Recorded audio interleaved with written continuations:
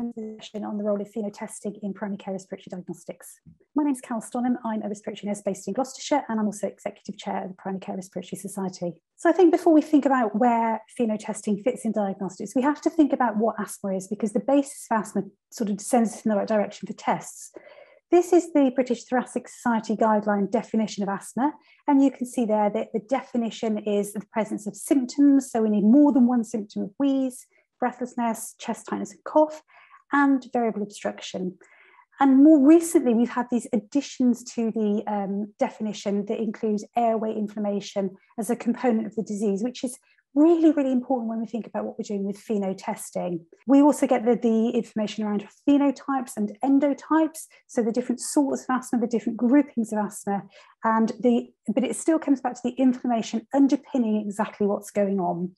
So, what do the BTS guidelines tell us about making a diagnosis of asthma? This is from the guidelines, and this may not be the most helpful uh, guidance you'll ever see, but you need to just take it a step further. So, BTS guidelines say the diagnosis of asthma is a clinical one. This line I find really interesting. The absence of consistent gold standard diagnostic criteria means it is not possible to make unequivocal evidence based recommendations on how to make a diagnosis of asthma. So, uh, where does that leave us? What do we need to consider? The guidelines do go on, however, to give a little bit more information, and they say that a pragmatic approach to establishing diagnosis based on the current evidence and the collective experience of the guideline development group. And that's really important when we think about the different ways that asthma is diagnosed. So BTS then goes on to give us more information to make this a much more useful document. It tells us about a structured clinical assessment. And with a structured clinical assessment, we're going to look at the history. So we're going to go back into the patient's notes and we're going to ask the patient questions about this and examination of exactly what's been going on. So you're going to look back in the notes for evidence of recurrent episodes of symptoms. So this is not generally a first presentation or a one-off. It's usually a recurrent thing. We're looking for symptoms of variability. So it's not something that's static, it's something that comes and goes. But it can't be down to any other diagnosis. So if the patient comes in with a wheeze and they've got an upper respiratory tract infection, that may be the cause rather than asthma, particularly if it's a one-off episode. When we get to wheeze, then it's really important that we make sure that wheeze is something that a healthcare professional has observed and listened to. And that's simply because definition of wheeze in a lay term is um, can be variable and may not be the same thing that we're talking about. So when we're talking about a wheeze, is a, a chest sound that we hear when we listen to the chest, that may be something quite different to what patients will be describing. We're looking for a personal history of atopy. So has the patient had a, a history or a current problem with eczema, with rhinitis, or with allergy? And then we're looking for that. The, the thing we, we often don't find is the historical record of peak flow, or particularly FEV1. So it may be when you look back, you may find some peak flows in the record from when patients have come in previously. But FEV1, unless they've gone through along a diagnostic pathway, is unlikely because it's unlikely the patient's going to have under, undergone spirometry. So we look back at the history, we talk to the patient about the symptoms they're presenting with, and then we come to, we have to make some logical conclusions about whether or not we feel this is asthma. And we put that into three different, three different sections if we've got lots of recurrent episodes, we've got obvious variability, there can't be anything else causing it. You've got documentation of a wheeze from a healthcare professional, and you may even have a peak flow in there. You're probably pretty convinced this is going to be asthma. So we can put that into the high probability of asthma. If it's high probability, what we do is we code as suspected asthma because we're still not 100% sure at that point, and we initiate treatment. And the treatment will be an inhaled steroid a dose that's appropriate for the patient in a device that you've shown them how to use and they can use consistently, and we send them on their way. And then we get them back in about six or eight weeks and we see how the patient's responded. If the patient's responded well, as you would expect, and is better, the symptoms have settled, then you can at that point code it as asthma. And then it's a case of adjusting the dose, checking inhaler technique, talking about triggers, starting that self management plan, that ongoing respiratory review. If when you go back to that history and you're looking for these clues that could be asthma. So we're looking for the recurrent episodes, we're looking for the variability. There, there may be some query about a previous diagnosis. If those things are not giving you a clue that this is asthma, so if you can't find that evidence, if you can't find these recurrent episodes, if the symptoms are pretty static, if there's no observation of a wheeze, or if the symptoms are only there when they're linked to another um, disease process, then probably you'll be thinking on the right side of that column, this is a low probability of asthma. This doesn't sound like asthma to me. It isn't giving me that right sort of history, those, those right um, clues that this could be asthma. If that's the case, then the best thing is probably to investigate and see if there's an alternate diagnosis. And if there is and you confirm it, then that's fantastic. It's the ones in the middle that cause us a little bit of a problem. It's the ones when we're not quite sure. So there are some features that really sound like asthma. There are some features that really don't sound like asthma. And you're left in that sort of that, that balance of probability as to whether or not this could be asthma. So these are the patients that go into the intermediate probability. And these are the patients that we need some more objective evidence. So you could we will do spirometry and with bronchodilation, bronchodilator reversibility and see where that leaves us. We know that if patients are well, that's often normal. You often don't find any clue there. Then we look a little bit further along the line. And as you can see there, this is where FeNO sits. So we can look at test variability, which are reversibility, peak flow charting, challenge testing if you're in a secondary care environment. I wouldn't recommend in a primary care environment. But the tests for eosinophilic inflammation are on the other side. So FeNO sits clearly in that box. And it's, it's been there for many, many years. We can look at blood eosinophils, but remember blood eosinophils are a systemic marker of a, what we're looking for, a local problem. And then skin prick testing and IgE are there, but those really are looking for atopy rather than um, eosinophilic airway inflammation. So we do the extra testing, we then reconsider our clinical picture, and then we decide whether or not this does or doesn't sound like asthma. If it sounds as if it is asthma and the patient's symptomatic, then you can start the trial of treatment as you would for the high probability. If you start a trial of treatment, you always need to review what happens. So, with the trial of treatment, if there's a good response, that confirms most likely this is asthma, so you can go on and code them as asthma.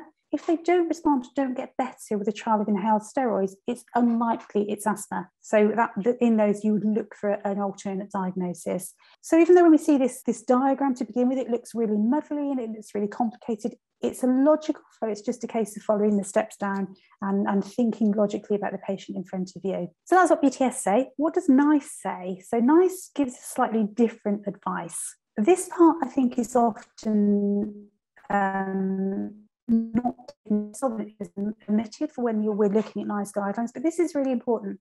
So NICE tell us that we need to do the initial clinical assessment, and this is for children and young people with suspected asthma. And again, we're looking for that structured history, looking for wheeze, cough, breathlessness, variation, triggers, personal or family history of atopy, but we shouldn't use that alone to diagnose asthma. We then think about these people with asthma, whether that, whether or not we can hear a wheeze and whether there's any indication this might be asthma. And at this point, we need to decide where we go. So this is where we get the next three algorithms that I'm going to go on to. Now, what NICE tell us is that if we if we have a patient that is symptomatic and we have the availability to test them immediately, we should. If we don't have the availability to test immediately, then we need to get on and treat them and test them at a point at which we can get on and test them. So it's, it's not delaying treatment, it's getting on with it. And this is what NICE recommends for children and young people. We do spirometry. Now, interestingly, they suggest spirometry from the age of five up to 16. That may not be possible in the younger child. So, does the spirometry show obstruction? Yes or no? If it does, then we need to think about if that uh, obstruction is reversible. If it is, that's enough to make a diagnosis of asthma. But as I say, young children often can't do spirometry, and anybody with asthma that is asymptomatic on the day they present will often produce normal spirometry. So what happens if the spirometry is normal? If the spirometry is, if you do spirometry, and there's no obstruction, that's the point at which we should be doing FeNO. And then we've got the guidance if the FeNO is above 35 um, and we've got some peak flow variability, ideally that'd be perfect, then we can diagnose asthma. If we've got a FeNO of above 35 but no variability in peak flow, then we're going to diagnose suspected asthma. So we've still got that code of suspected asthma in there. And you can follow this whole chart along. Again, these, these charts often look quite um, complicated and quite confusing, but if you go through them logically, you can, you can work your way through. So we're not going to be doing spirometry in everybody. If you've got a child that has obstruction that is reversible, they don't need FeNO. Otherwise, we should be adding FeNO into the children's algorithm. Adults is a different matter. So the suggestion with adults is we still do spirometry, we still look for obstruction to see whether it's reversible, but in everybody, we should be offering a FeNO test to support that diagnosis of asthma. So that's, that's in there and it's quite clear to see that.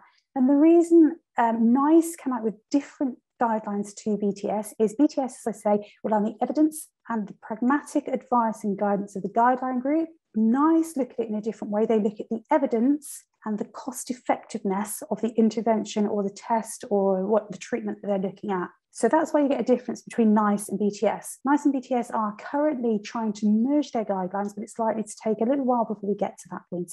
So when these patients present and they've got they come in with their FeNO test, NICE tell us that in an adult, if their FeNO is 0 to 40, they're normal. If it's above 40, that's indicative of asthma, but that's quite a harsh cutoff. And I actually find having a thinking zone really helpful. So these guidelines are the American guidelines, and they give us three levels. So the American guidelines say that if a patient has a low FeNO, uh, so it's an adult below 25, a child below 20, it's unlikely they'll benefit from a trial of inhaled steroids because there's no indication of eosinophilic airway disease there. So think about something else. If they're in the 25 to 50 zone, that's what I would call my thinking zone. So I would think about all of that other evidence in more detail, think about whereabouts in the 25 to 50 range they are. Are they at the bottom or are they at the top? And then consider whether or not I feel a trial of inhaled steroid is appropriate. If you've got them in the high zone, so if they've got a FeNO, an adult with a FeNO of above 50, a child with a FeNO of above 35, that is indicative of eosinophilic airway inflammation and is likely to benefit from inhaled steroids. So that gives you a little bit more of a sort of a, a, a considered look at the results. But it's really important to remember that when we're diagnosing asthma, we have a diagnostic toolbox. We don't rely on one test. There is no one test that gives us the exact answer. So, as I say, we need to think about the history, we need to think about the symptoms the patient's presenting with, what we find when we examine that patient, when we do spirometry, have they got obstruction? And if they've got obstruction, is it reversible? Are you testing them on a day when they feel really well and you wouldn't expect that to happen? What about a peak flow diary looking for variation, diurnal variation? Think about the blood eosinophils. So we've got, we know that with patients with a raised, consistently raised blood eosinophil level, that tends to support a diagnosis of asthma. But FeNO is the thing that will put the whole picture together and give you that idea of, as to whether or not there is airway inflammation. But it is really important to review all of this. As I say, there's not one diagnostic test or test or one part that will give you the answer. And the important thing with asthma is often the diagnosis isn't a very clean cut diagnosis we can make on one visit. It's something that evolves and develops over a period of time. So it, it, tends to evolve and develop with the testing that we're doing, with the trials of treatment that we're doing, with seasonal variation, with all sorts of things. So, so don't be alarmed if you don't make that diagnosis in one appointment. In fact, most people, it takes longer than that to make a diagnosis. A lot of people worry about what influences FeNO results. So, what artificially rises the FeNO result and what artificially suppresses the FeNO result away from the, the diagnosis of asthma. So, the things we know have a, a, a inc- cause an increase are allergic rhinitis, rhinovirus infection, because that inflames the mucous membrane. Men tend to have a higher FeNO than women. That's because men have a larger lung volume, and this is something that's produced from the mucous membrane of the lungs. Likewise, tall people, the same thing. Dietary nitrates are interesting. So this is your leafy green vegetables, your beetroots, those type of things. If, if they've recently ingested dietary nitrates, that can put the um, FeNO level up. The things that drop it down, so if you think of the opposite of tall men, children have a lower FeNO than adults because of their lung surface volume. Cigarette smoking is the one that I would pick out of, of any of them that, that you need to consider. So if your patient has recently smoked, that can artificially suppress the FeNO. And if the patient is already being treated, so if they're on inhaled steroids or oral steroids, that also suppresses the airway inflammation and so suppresses the FeNO. But interesting, there was a review that was done a little while ago, back in 2014, that looked at all these confounders and came out with a conclusion that most factors had a small and clinically non significant effect on FeNO. So it's worth remembering that. So to summarize, FeNO is a useful objective test that measures eosinophilic airway inflammation and does not diagnose asthma but supports a diagnosis of asthma. It is really important to take the complete history, to examine the person in front of you, to think about the whole respiratory picture before you come out with a diagnosis. But we do have clear cut recommendations in our asthma, di- our asthma diagnosis guidelines in the UK that recommend the use of FeNO. Thank you for joining me. I hope that was of use.